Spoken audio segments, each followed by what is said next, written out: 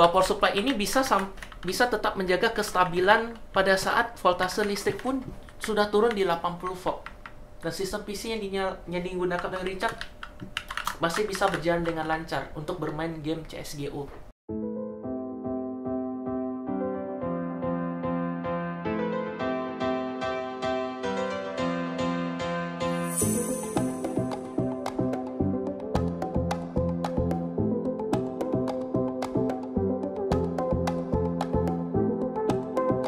Hai tim, kembali lagi bersama saya Richard Permana. Kali ini kita akan kembali unboxing produk terbaru dari Cooler Master Power Supply seri E MWE 450 Dengan sertifikasi udah 80 plus Tingkat efisiensinya mencapai 85% Kita coba lihat dari tampilan luarnya dulu ya guys. Ini box tampilan depannya.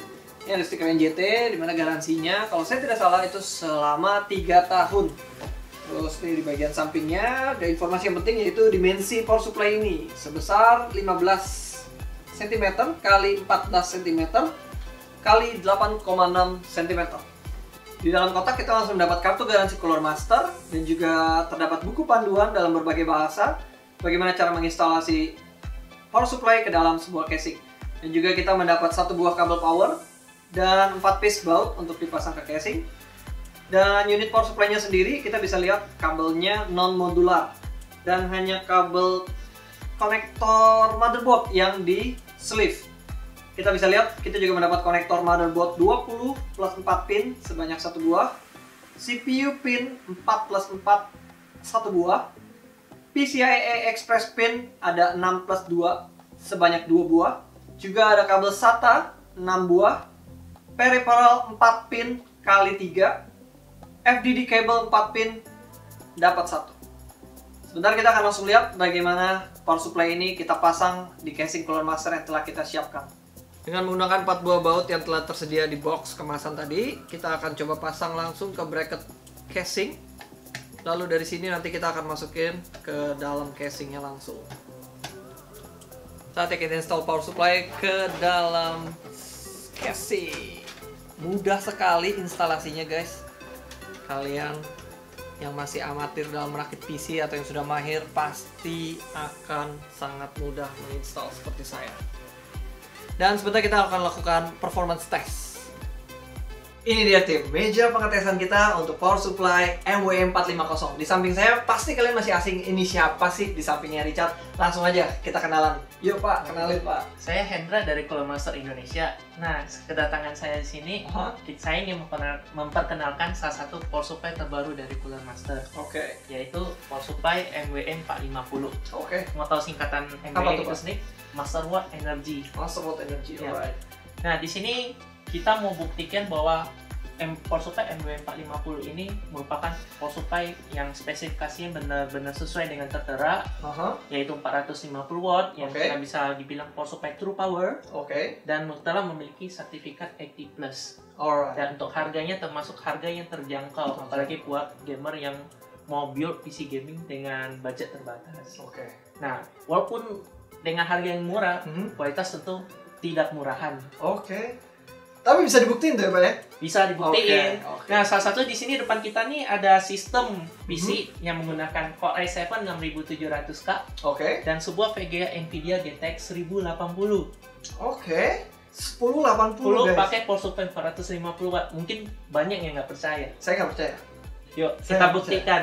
Selain itu, kita juga membuktikan bahwa power supply ini uh, bisa tetap stab- stabil walaupun menggunakan listrik PLN yang tidak stabil. Misalnya Oh. di kos-kosan atau di rumah atau apartemen yang bikin masalah listrik. Betul betul. Dengan menggunakan power supply ini, masalahnya tidak akan masalah. Komputer tetap bisa stabil dan Yakin. tidak ngeheng. Yakin? Yakin. Yakin di sini ada trafo buat ngujinya nanti. Oke. Nanti saya bisa dengan mata kepala saya bisa nyaksin Iya. sendiri nih, Pak. Nyaksain sendiri, Oke. dicoba aja. Oke. Oke. Saya penasaran sih. Iya. Penasaran banget. Oke. Oke tim, langsung aja kita tes. Bener nggak sih yang diomongin sama Pak Hendra tadi? Kalau voltase kalian di rumah nggak stabil udah gitu cuma pakai power supply 450 watt kuat emang mainin mainin game kita high definition atau apalah 4K atau apa pun pakai GTX 1080 dari Nvidia plus i7 terbaru. Langsung aja tim. Let's go. Let's go. Oke, di sini ada trafo yang akan kita gunakan untuk mensimulasikan listrik tidak stabil. Kita bisa lihat di voltase listrik normal itu adalah 220 volt untuk wilayah Indonesia.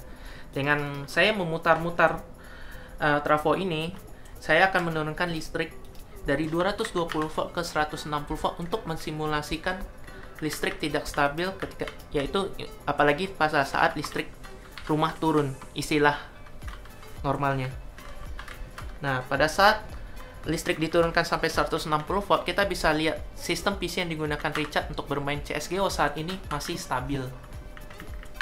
Nah, saya akan buktikan lagi uh, kemampuan MWE ini tidak hanya bisa stabil pada 160 volt saja. Saya bisa turun lebih jauh lebih rendah lagi dan sistem PC yang digunakan pun masih tetap stabil. Nah, kita sudah di 110 volt. Kita lihat power supply MW450 nya tetap memberikan daya yang tetap stab untuk menstabilkan komputer yang digunakan oleh Richard. Even VGA yang digunakan juga menggunakan VGA GTX 1080 yang memiliki konsumsi daya yang lumayan cukup tinggi. Nah, gimana kalau kita turunin lagi? Semakin lebih rendah. Yaitu ke 80 volt. Yang buat saya sendiri, buat pribadi sendiri uh, sedikit disbelief bahwa power supply ini bisa bisa tetap menjaga kestabilan pada saat voltase listrik pun sudah turun di 80 volt. Dan sistem PC yang, dinyal, yang digunakan oleh Richard masih bisa berjalan dengan lancar untuk bermain game CSGO. Ya, di sini kita kan tadi kan sudah sampai 80 volt. Lalu gimana kalau kita simulasikan kalau listriknya itu benar-benar tidak stabil naik turun dengan cepat? Apakah komputer ini akan ngehang atau tidak? Pertama-tama saya naikin dulu ke 160 volt dan kita bisa lihat sekarang 170 dan komputer Richard tetap stabil. Gimana kalau kita zigzagin? Naik turun, naik turun, naik turun. Naik turun dengan sangat liar. Naik turun dengan sangat liar.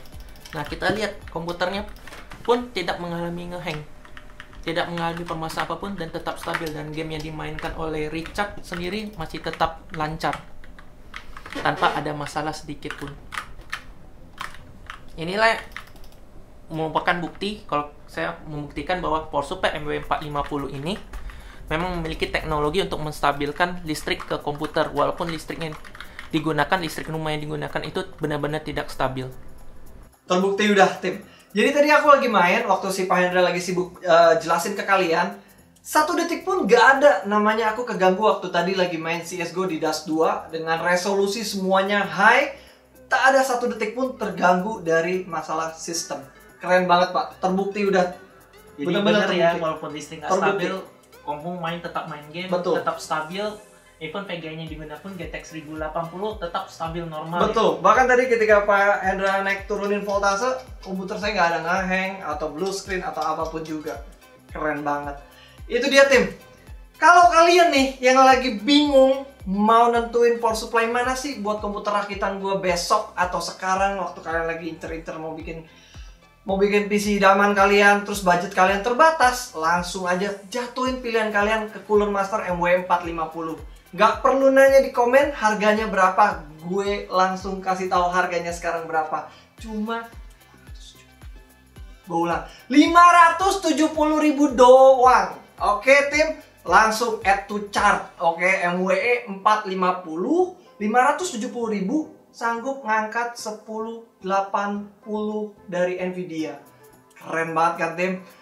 Itu dia Terima kasih Pak Hendra udah bantuin Sama. review dan unboxing sekaligus tes kali ini. Thank you banget Pak Hendra, Floor Master ngelurin produk yang ajib banget, keren banget. Buat solusi buat gamer yang uh, budgetnya terbatas tapi dia pengen main yang uh, ya gitulah.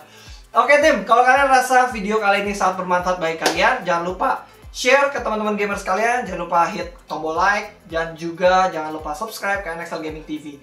Sekian dari kami dari NXL. Sampai jumpa di video unboxing selanjutnya. Thank you, tim. Bye-bye.